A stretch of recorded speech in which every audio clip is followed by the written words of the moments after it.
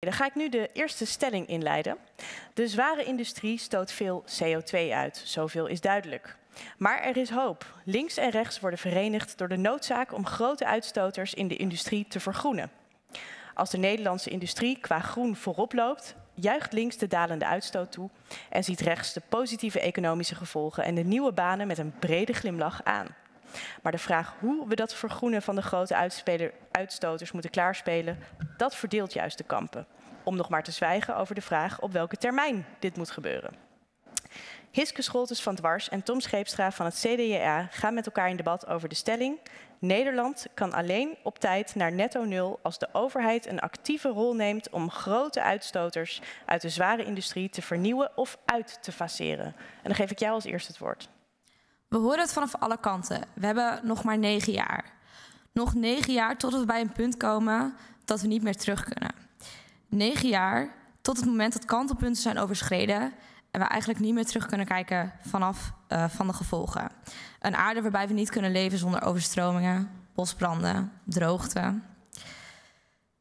Daarbij komen de gevolgen. Dit zal namelijk onder andere zorgen voor slechte oogsten, klimaatvluchtelingen en ook voor het wegvallen van onze biodiversiteit. Met dit in het vooruitzicht kunnen we niet langer blijven zeggen: verandering begint bij jezelf. Je moet maar wat korter gaan douchen of wat kouder, uh, misschien veganistisch gaan eten. Um, verandering begint bij de grote vervuilers. In Nederland hebben ze lang genoeg hun gang kunnen gaan. Um, en daarom moet de zware industrie nu aangepakt worden. Verandering begint niet bij jezelf, maar verandering die begint bij Shell. Mooi binnen de tijd. En er mag best een uh, applausje.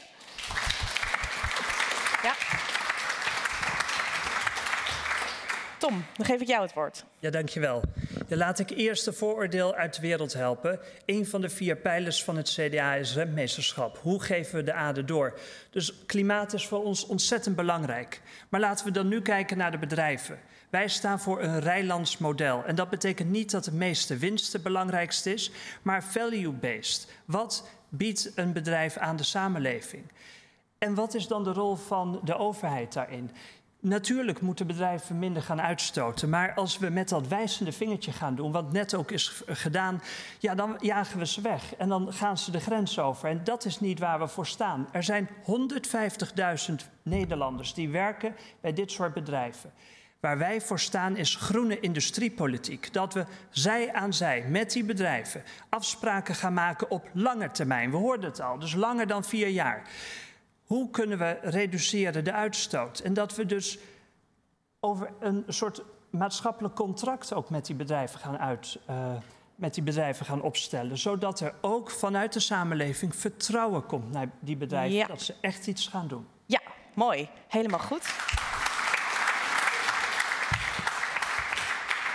Ja, dan vraag ik jou meteen om te reageren. Want jij bracht een interessant punt volgens mij op. Uh, namelijk de bedrijven trekken weg als je gaat uitfaseren. Wat vind je daarvan?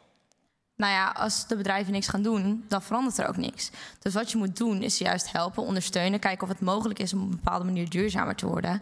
En daarin ze zo duurzaam mogelijk maken. Maar mocht dat niet duurzaam genoeg zijn, dan moet je wel kijken van, is er niet iets anders wat zeg maar gewoon als tegen, tegenligger geboden kan worden. En nog even ter verduidelijking, wat voor maatregelen denk je dan aan? Ja, bedrijven? dat verschilt heel erg per bedrijf. Dat is best wel lastig om te zeggen. En zie jij um, Ja, nou, ik zou hier wel iets uh, op willen zeggen. Want ja, duurzaam genoeg, hè, dat, het, het, is niet heel specifiek. Wat we moeten doen is een actieve rol van de overheid. Dus de overheid moet bijvoorbeeld gaan investeren in uh, de waterstof.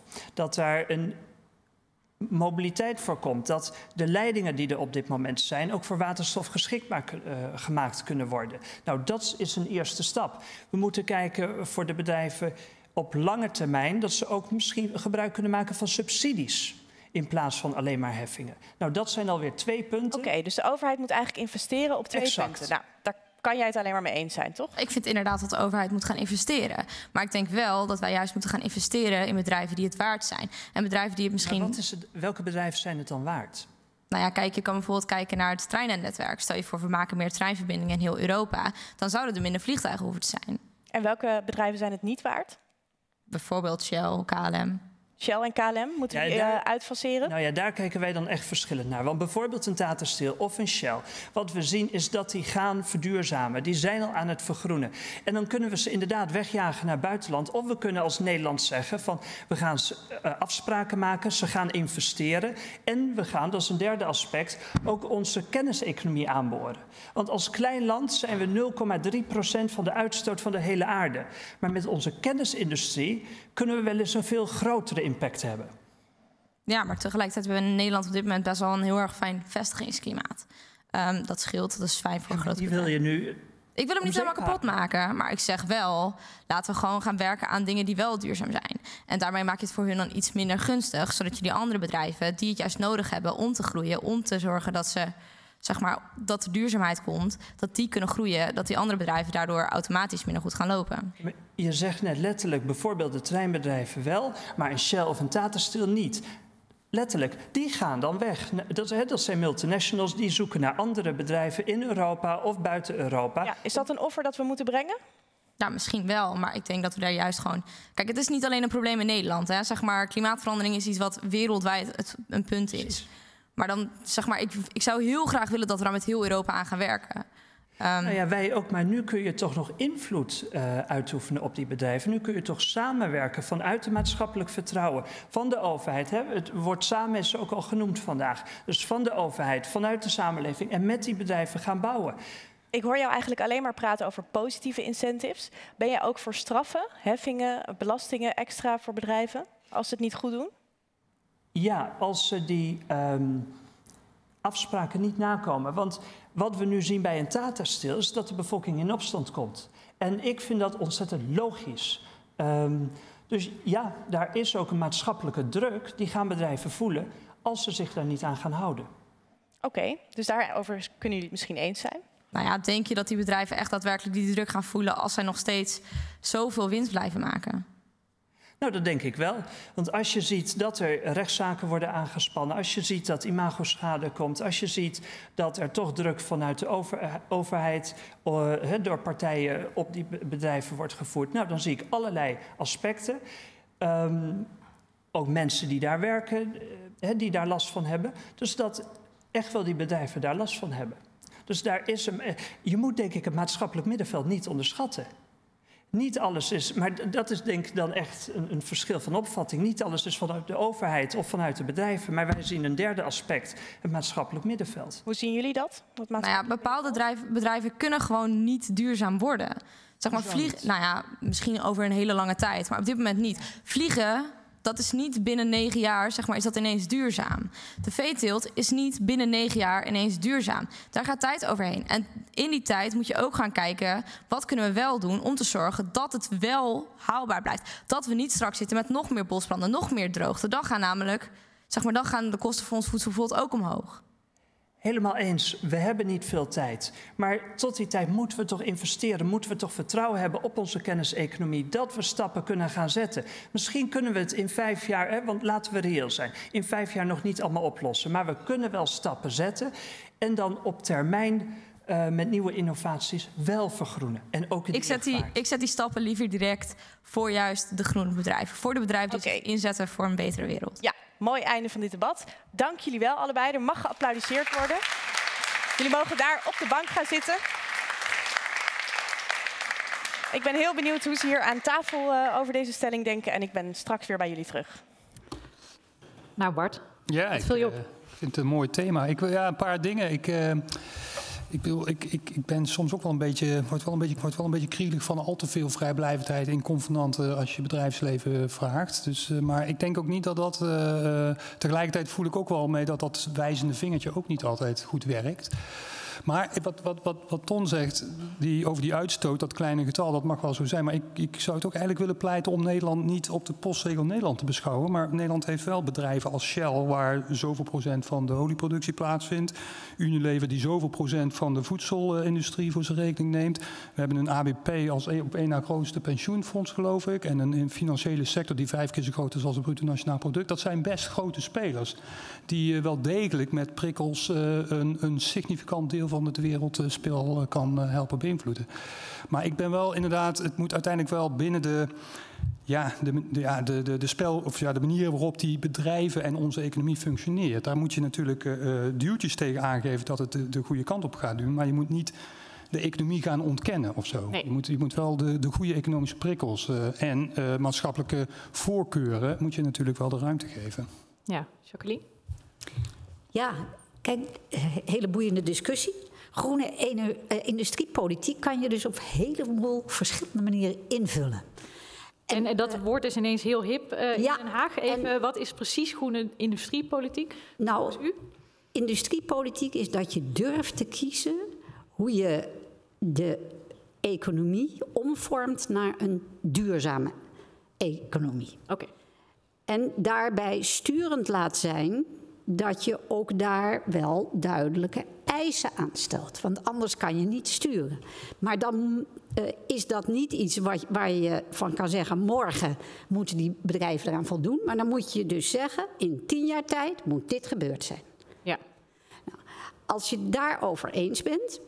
En uh, je kijkt dan naar de belangrijkste sectoren, dan hebben we in het verleden, ook in mijn tijd, de hele zware industrie en alles wat viel onder Europese emissiehandel. Uh -huh hebben we buiten de, de beleidspolitiek van Nederland gehouden.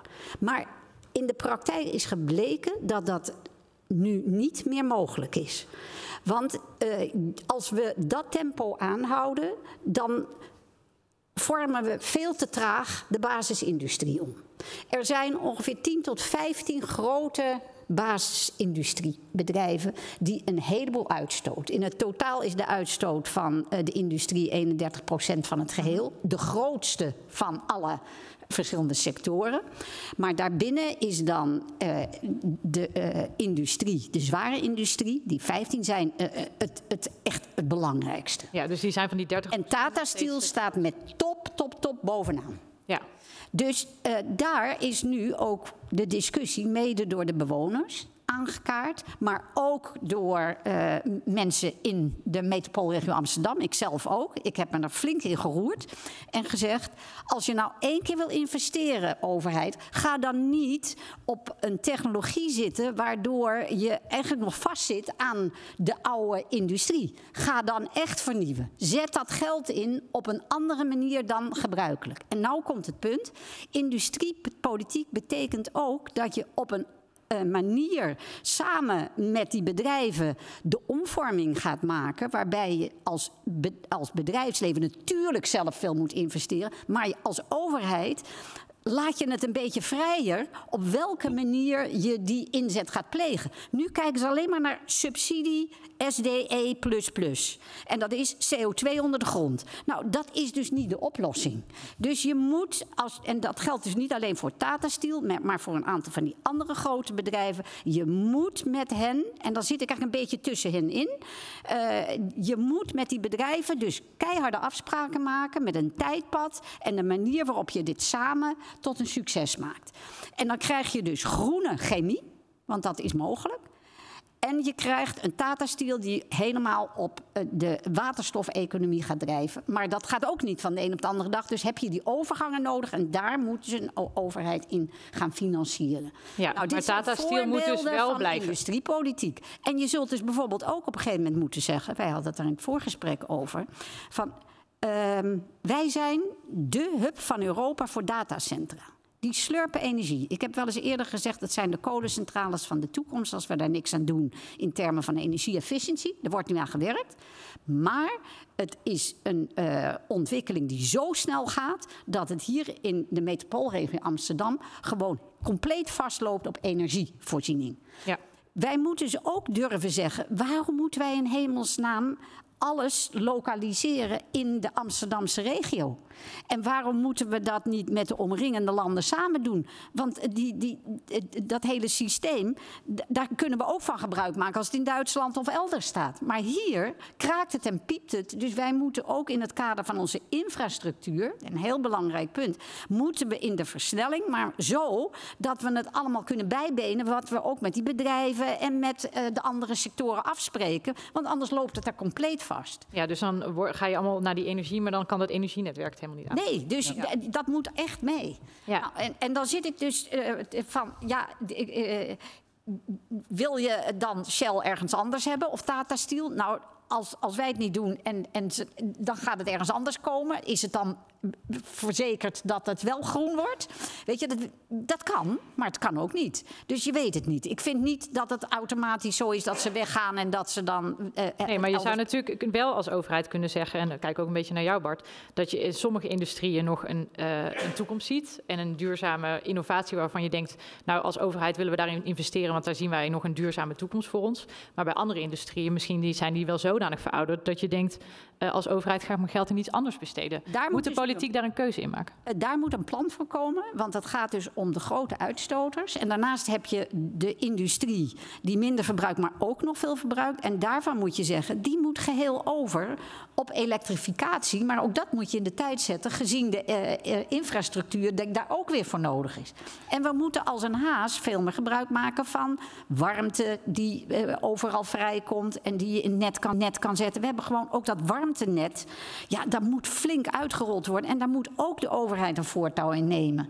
Want dat, dat is nu ook allemaal versnipperd. Dus er is veel meer regie nodig om werkelijk, uh, en leiderschap dus, hè, om werkelijk die stappen die ik nu net zet, uh, gezet heb hè, op het gebied van, van de industrie, om die te zetten. En dan hetzelfde geldt voor de landbouw. Kunnen we ook misschien komt daar nog in de discussie ook een, een, een, een, flinke tegenstelling. Maar oké, dan hebben we het daar zo over. Maar dat geldt dus voor alle sectoren. Je zult ze allemaal moeten bekijken op, welke manier kunnen we die enorme transitie nu al in gang zetten om dat in 35 voor elkaar te hebben.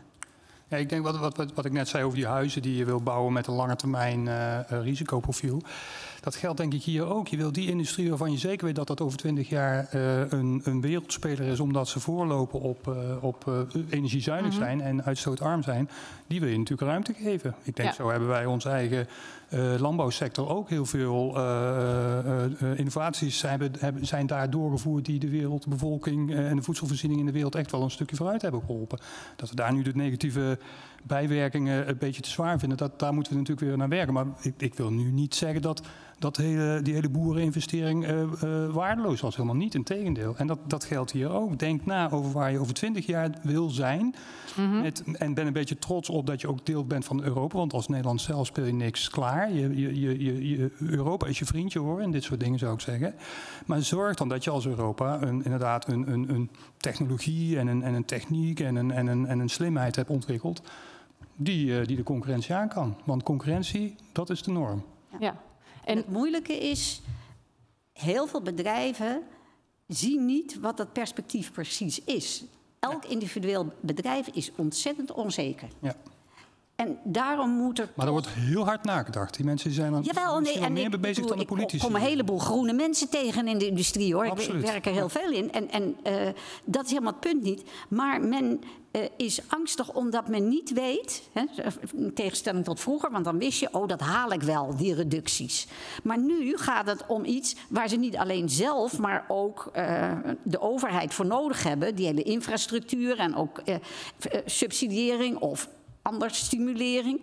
En dat is voor, voor individuele bedrijven een probleem. Dus moet je het collectiever maken, opdat iedereen voelt, we doen het met z'n allen. Ja, het klinkt een beetje, we doen het met z'n allen. Maar ik zie dus niet dat het al zoals vroeger allemaal met individuele bedrijven geregeld kan worden. We zijn allemaal aan de bak. Ja, maar dan aan de ene kant denk ik, uh, waar de regering naartoe neigt, om, is vooral om het positieve te subsidiëren, om een beetje positief incentive te geven van die kant moeten we op. Je zou natuurlijk ook uh, als overheid kunnen zeggen, we gaan het gewoon heel zwaar belasten en dan zien, zien die bedrijven vanzelf wel hoe ze het doen. Maar dan worden ze in ieder geval wel heel hard belast op het moment dat ze die doelen niet halen. Is dat dan niet veel beter eigenlijk? Het is een combinatie. De, de, de, tax is al hoger geworden, maar ook daar, je kan een heleboel knoppen draaien. Ik zeg, een subsidie is um, ja, een goede stimulering, maar moet je ook heel gericht inzetten. Dus ja. Maar is de politiek dan niet te bang om zoiets als een zware CO2-heffing in te voeren? Zou dat wat, wat jullie betreft meteen moeten? Nou, de bedrijven zelf vragen erom. Ja. ja. Dus, dus wat jullie ik, betreft en, wel. Ik denk, ja, dan zou ik zeggen, ik ga daarin mee. Europa vraagt erom. Ja, en de, en de emissiehandel heeft nu al uh, iets van uh, over de 60 uh, hmm. euro per kilo. En dat gaat alleen maar omhoog. Dus dat gaat, dat gaat en, en daar reageren de bedrijven al op. Hè? Ja. Ja. Dus, maar goed, ik kan me voorstellen voor bepaalde sectoren die het makkelijker hebben en die ook minder eh, tax betalen, sowieso al in ons systeem. En wij betalen veel meer energiebelasting dan bedrijven, zeker de grote bedrijven. Dus daar moet je ook iets aan doen. Want het is ook niet. dat- Kijk, als je wil dat iedereen meegaat, dan moet, moet er ook een soort eerlijkheidsprincipe in zijn. En dat vinden mensen. Eh, niet eerlijk. Als zij wel allemaal belast worden en de grotere bedrijven niet. Dat, ik- dat, dat werkt gewoon tegen. Wat ik ook wel mooi vond wat Ton eh, straks zei, want je wil niet alleen op geld afrekenen. Hè. Je wil ook een, meer een, een waarde achter, een waardediscussie voeren. Je wil, je wil nadenken, wat, wat is het je waard? En dat vind ik ook eerlijk gezegd met banen hoor. Ik vind niet dat 150.000 banen nou kost wat kost be- eh, behouden moet worden. Ik denk, ik heb liever banen waarvan je zeker weet dat ze er over 20 jaar nog zijn, omdat we ze dan nodig hebben. Ja. Dat is de manier van denken waarop je je, je, je, je economische belastingssystemen en je, en je toeslagen en je, en je industriepolitiek. Met die bril moet je daar naar kijken. En dan zou ik niet te bang zijn voor, eh, voor een beetje ja, al te eh, eh, liberale maatregelen of zo.